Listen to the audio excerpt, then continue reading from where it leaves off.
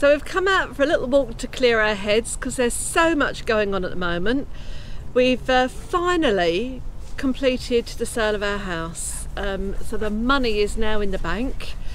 And after two and a half years on board, which was our trial period with our boat, wasn't it, to see what we were going to be doing, A practice boat. um, we've had to make some decisions about what's next. So we had a few options. We could have um, stayed with Constanze and done her up. We could have uh, bought a brand new boat. We could have bought a second-hand boat, which would be a little bit more in keeping with our lifestyle. Or we could have gone back to land, but that's not going to happen, is it? Going back to land, no way. we don't want to go back to land. We like boat life too much, so we've made a decision, haven't we? We have made a decision and we're buying a brand new boat. Yes. A 58 foot semi traditional narrowboat. And uh, we're so chuffed, aren't we? We are so chuffed. excited. We've agonised over this decision for months and months and months, knowing that the house will finally, eventually be sold, and then what to do. We made a decision. We made the decision to keep Constanze and have various bits and pieces. But at the end of the day, we really want a dinette with a side hatch over it. And with the best bill in the world, we can't fit all that on our boat, can we? No.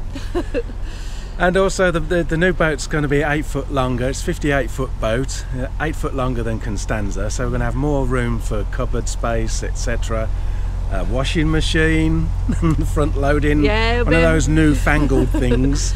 I've managed really, really well with our little Edna, and uh, but the fact is that the plumbing is there and it's set up. The design is there, ready for a washing machine. So yeah, I'm going to have a washing machine and a fridge, so we get ice for the gin and tonics. So it's all really exciting. Um, we can't wait, can we? It's, No. uh, it's just we're boring ourselves stupid talking about it every day. yes, So that's what we're up to. yeah. So who's building the boat?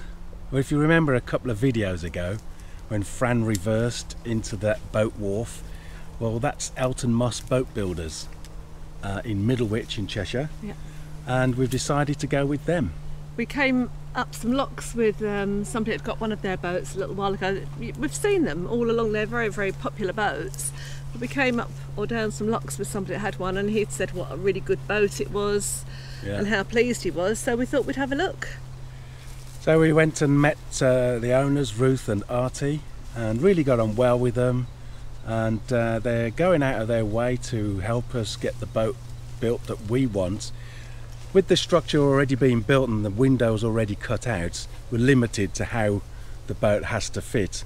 But uh, we've had the bedroom changed around, the bathroom changed around, the fire put on the other side, purely to suit how we imagine the boat would suit us.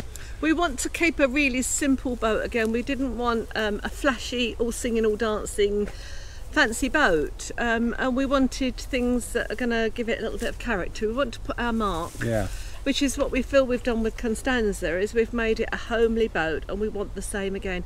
So they're putting in extra bookshelves for us Yeah. and instead of a television cabinet we're having sort of bookshelves and places for our games. Um, it's really good isn't it? Because they've got their standard layouts which they normally use but they're quite happy to change that to suit your needs. Or if you want you can completely have a bespoke boat can't you From scratch, yeah, but uh, that's too complicated for It's us. convenient for us that they, they've actually got this shell ready to be fitted out, and it's going to reduce the time scale somewhat. So, Yeah. new year, we should be cruising on a new boat. Yes, hopefully early next year. Yeah, all things being well. So Elton Moss are going to handle the sale of Constanze for us completely.